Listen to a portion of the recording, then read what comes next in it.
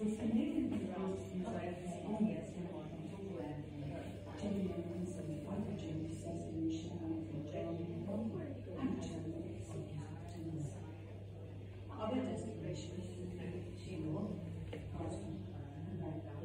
remember the, um,